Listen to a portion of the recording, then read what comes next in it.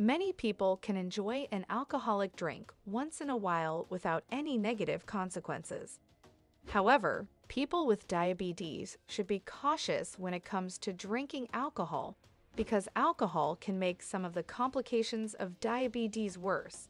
Drinking alcohol may interfere with the liver's ability to regulate blood sugar.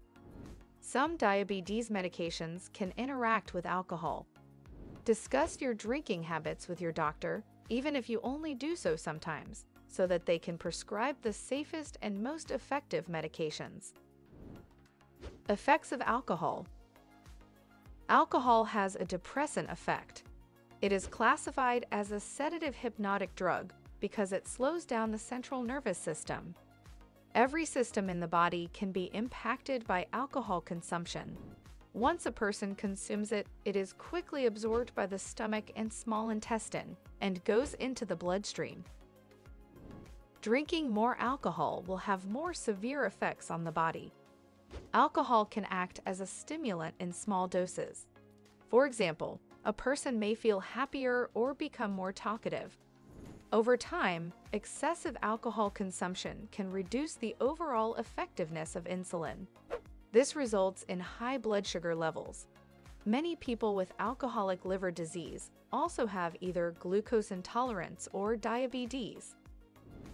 How does alcohol affect blood sugar?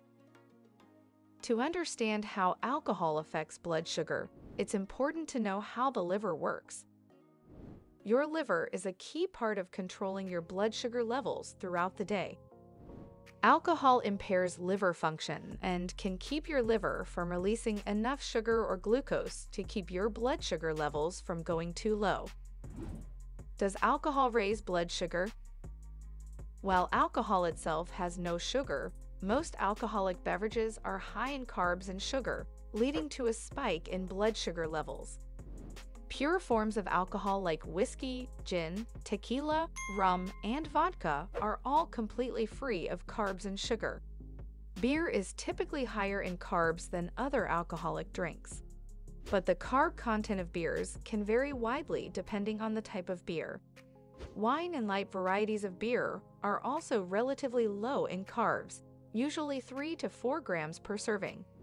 Regular beers tend to be much higher in carbs and calories than light beers. Additionally, alcohol also contains empty calories that do not provide the body with energy, but do have to be processed by the body. This prevents the body from processing sugars, leading to a rise in blood sugar as the alcohol is metabolized. Does alcohol lower blood sugar? Even though alcohol does cause a rise in blood sugar, it often also causes blood sugar to drop after this rise. Alcohol alters the function of the pancreas, causing an increase in insulin while inhibiting the liver's natural ability to release sugar. As a result of these two factors, blood sugar levels decrease. Be extra cautious when medicating high blood sugar levels caused by alcohol consumption, since these might drop suddenly resulting in a severe episode of hypoglycemia or low blood sugar. How long does alcohol affect your blood sugar? As long as it remains in your system, alcohol will affect your blood sugar. Your blood sugar's response to alcohol will rise gradually as the sugar in alcohol is digested, then reach a peak after the maximum sugar has been absorbed. This often occurs in about one or two hours. As previously explained, your blood sugar will drop following the initial increase. Your blood sugar will remain low as long as alcohol interferes with your liver's regular function. Once enough alcohol has been removed from your body, your liver will regain its ability to release sugar. This usually takes about 12 hours. Alcohol and diabetes. Along with the risk that your blood sugar level will go too high or too low, many medicines for diabetes are not compatible with drinking alcohol. Diabetics who are worried about the effects of alcohol on their blood sugar levels should check their blood sugar levels before and after they consume alcohol. It's also important to check your blood sugar before bed to ensure you don't have a period of low blood sugar while sleeping. Some other diabetes medications also lower blood sugar by making the pancreas produce more insulin. Combining these medications and alcohol can lead to insulin shock, which is a medical emergency. Some signs and symptoms of insulin shock include confusion, headaches, lightheadedness, lack of coordination, and blurry vision. Can diabetics drink wine, beer, or other alcoholic drinks? No one should make an important medical decision without consulting their doctor first, as each person's situation is unique. As a general rule, however, people with diabetes can safely consume alcoholic drinks in moderation. Drinking alcohol can be addictive, and people with diabetes should avoid binge drinking and heavy drinking because it may cause dangerous episodes of hypoglycemia. How does alcohol affect blood sugar in non-diabetics?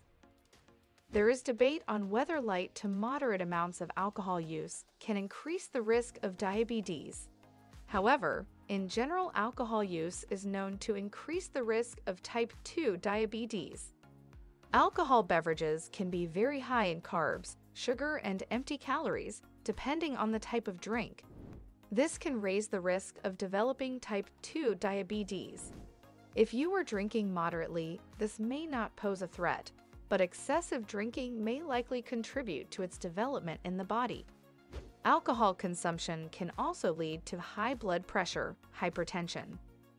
Alcohol can also cause or contribute to weight gain. There are several links between alcohol and weight gain, including Alcohol is packed with carbs, sugar, and empty calories. You are also likely to eat more unhealthy foods than you would if you were not drinking. Alcohol consumption can stimulate your appetite, which can cause overeating and will increase blood sugar levels further.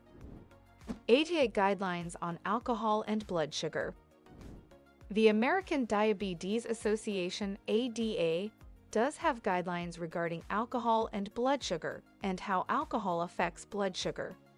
Some of their recommendations include no more than two drinks per day for men and no more than one drink per day for women. If you have diabetes, you should not drink when your blood sugar levels are low or if you have an empty stomach. Certain types of alcoholic beverages may be more detrimental for people with diabetes, including heavy craft beers. Bottom line moderate alcohol consumption, no more than one to two drinks per day, is perfectly safe for most people with diabetes. However, the safest way to avoid any of the potential risks of alcohol and diabetes is to avoid using alcohol altogether. Check out our videos to learn more how to manage your diabetes and improve your overall health. Thanks for watching.